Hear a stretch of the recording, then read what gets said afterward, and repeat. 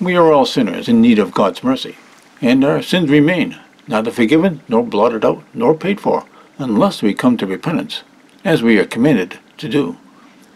And the times of this ignorance God winked at, but now commands all men everywhere to repent.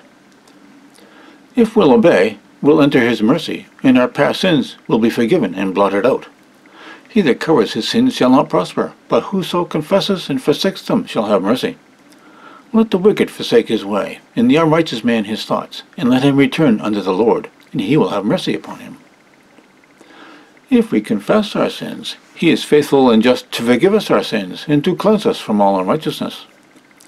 Repent, therefore, and be converted, that your sins may be blotted out, so that times of refreshing may come from the presence of the Lord. That's right. Our sins remain, neither forgiven nor blotted out, unless we come to repentance. And we will perish without mercy. We'll pay for those sins ourselves, unless we come to repentance. Jesus warned, Except ye repent, ye shall all likewise perish. Peter makes it clear, Come to repentance, or else perish. The Lord is not slack concerning his promise, as some men count slackness, but is long-suffering to usward, not willing that any should perish, but that all should come to repentance. Jesus died for our sins. Our sins were not blotted out or paid for past, present, and future when he died. He made his death, his blood, available to cover our sins, past, present, and future. He made it possible for our sins to be covered. Who gave himself for us, that he might redeem us from all iniquity, and purify unto himself a peculiar people, zealous of good works. Without the coverage he made available, we would all be hopelessly doomed to perish, repentant or not. Thank you, Jesus.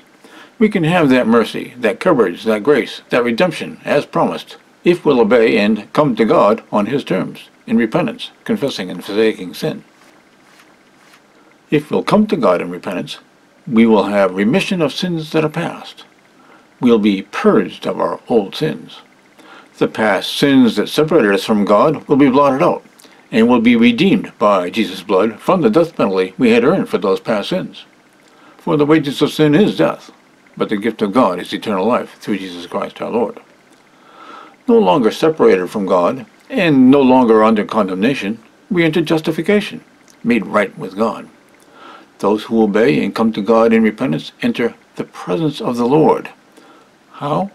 By the gift of the Holy Spirit, given to them that obey him and repent and we are his witnesses of these things, and so is also the Holy Ghost, whom God hath given to them that obey him. Then Peter said unto them, Repent, and be baptized every one of you in the name of Jesus Christ, for the remission of sins, and you shall receive the gift of the Holy Ghost. We will still sin, of course, after coming to God in repentance. We're human. Through the Holy Spirit and His Word, the Bible, Jesus helps us to overcome slavery to sin and leads us into His righteousness. This is how we are made ready to receive the gift of eternal life, and to be the Father's sons and daughters forever. An ongoing relationship with Him yields the peaceable fruit of righteousness unto them which are exercised thereby. As many as I love, I rebuke and chasten. Be zealous, therefore, and repent. He that overcomes shall inherit all things, and I will be his God, and he shall be my son. He that overcomes, the same shall be clothed in white raiment, and I will not blot out his name out of the book of life, but I will confess his name before my Father and before his angels. To remain in justification, right with God and not under condemnation, we must continue to abide in Jesus, and we must continue to follow the lead he provides through the Holy Spirit. There is therefore now no condemnation to them which are in Christ Jesus, who walk not after the flesh, but after the Spirit. To follow the Holy Spirit, we must, of course, remain in repentance, having a heart and mind willing to change as we are led.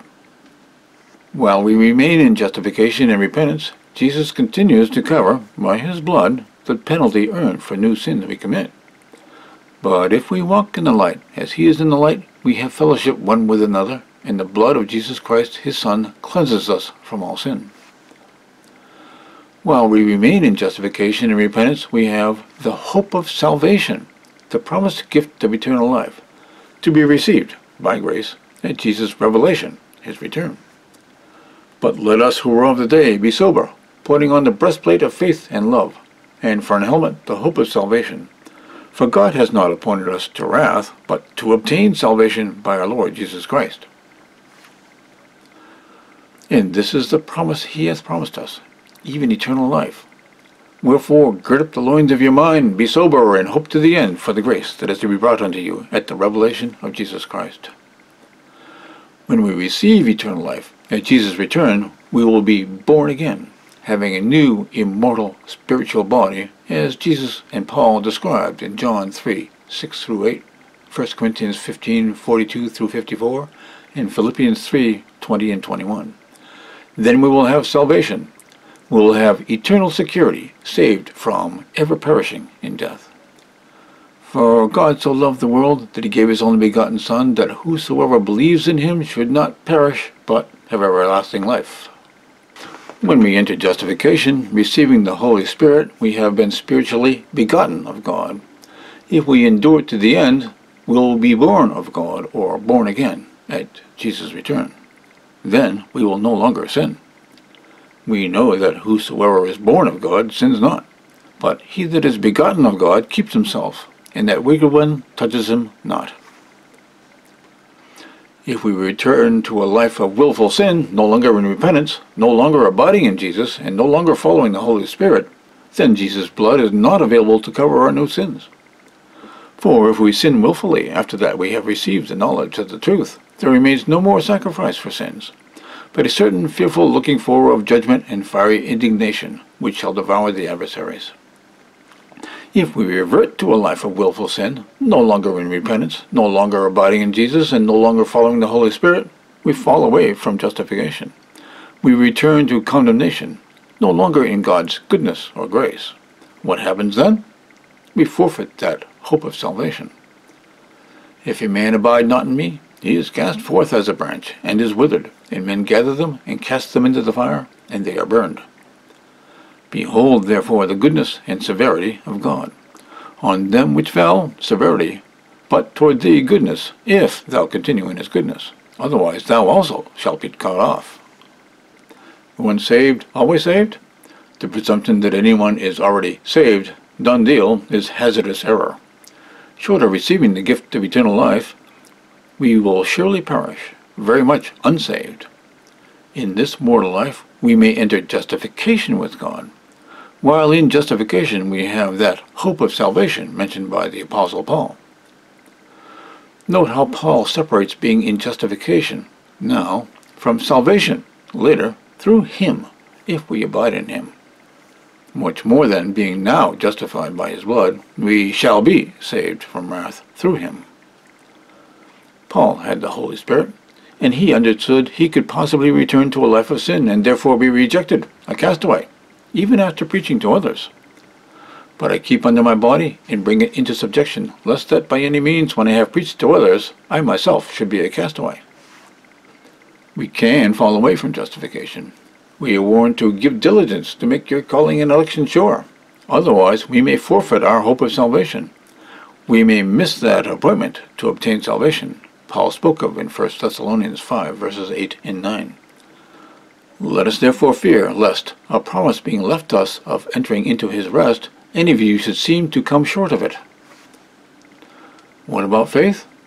Faith, trust that God exists and rewards, is necessary, because without it we could never see any reason or need to come to God on his terms in repentance. But without faith, it is impossible to please him. For he that comes to God must believe that he is, and that he is a rewarder of them that diligently seek him. It is the decision to obey and come to God on his terms that pleases God, and for which we receive his promised mercy. True believers, like Abraham, are those who act on their faith and obey God.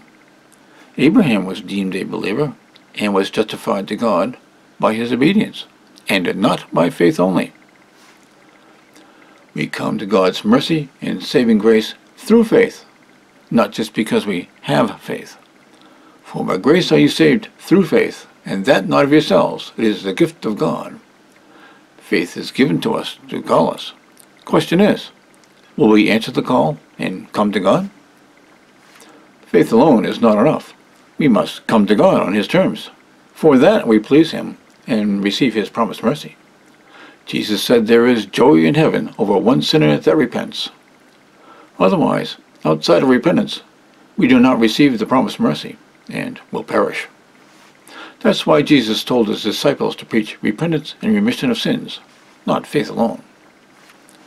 Then he opened their understanding that they might understand the Scriptures, and said unto them, Thus it is written, and thus it behoved Christ to suffer, and to rise from the dead the third day, and that repentance and remission of sins should be preached in his name among all nations, beginning at Jerusalem.